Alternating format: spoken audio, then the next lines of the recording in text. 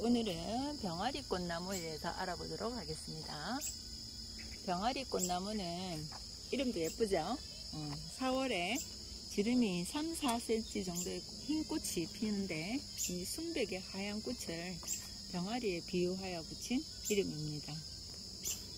실제로 병아리 꽃나무는 동굴 식물은 아니지만 동굴처럼 가늘게 줄기가 뻗어나가는 특성을 가지고 있으며 예, 지금, 지금 덩굴처럼 돼 있죠, 그죠? 전체적으로 봤을 때. 음, 음. 덩굴처럼 이렇게. 키가 작고 밑둥에서 가지를 많이 치기 때문에 새나 곤충의 보금자리로 안성맞춤입니다. 이 속에 들어가서 새, 새들이 사- 살면 좋겠죠. 네. 네네, 예. 꼼꼼하고 지금 새가 와서 지금 지저귀고 있네요. 음. 그리고 또 대부분의 장미과 식물들은 꽃잎 또는 꽃받침이 다섯 개인데 비해서 이 나무는 네 개씩입니다. 꽃받침을 한번 볼까요? 여기 이제 열매가 있고 꽃받침이 여기 네 개가 네 개. 있죠. 어, 네 개. 열매도 네 개고, 어, 음. 시방이 이제 그 씨가 네 개 달려 있고, 어, 네. 꽃받침이 네 개가 네. 있죠.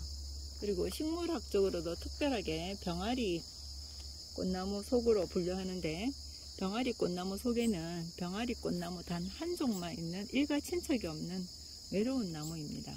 음, 그렇구나. 그리고 잎의 특징도 한번 볼까요? 음. 잎은 마주나기 음. 나고 여기 표면에? 어, 예. 깊은 주름이 있고 음.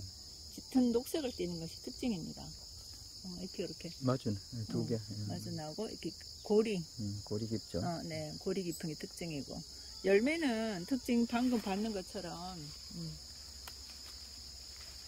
요 열매가 많이 달려 있네요. 네, 네. 예. 네 개가 항상 요네 개가 음. 딱 달려 있고 반질반질하고. 어.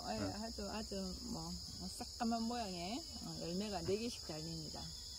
이것이 한 가슴에 여러 자식을 품고 있는 모양을 하고 있어서 그런지 꽃말은 의지나 또는 완성입니다. 음. 포항 발산리의 천연기념물 제 371호 병아리 꽃나무 군락지는 우리나라 유일의 병아리 꽃나무 천연 기념물입니다. 아, 병아리 꽃나무도 천연 기념물로 되어 천연기 있네요. 포항에 가면 음, 있죠. 예. 군락지가 있군요. 예.